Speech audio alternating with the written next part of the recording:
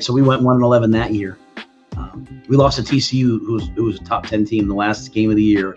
And the minute the last horn sounded, I remember Chris Del Conte walked over and said, "Hey, you know, you guys would be great in the long run."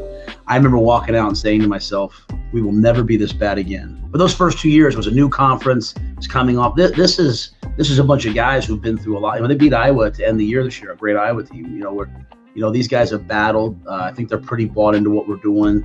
So I'm excited to to work with this group. I think, you know, we are where we were at those other places in year two. We're there right now.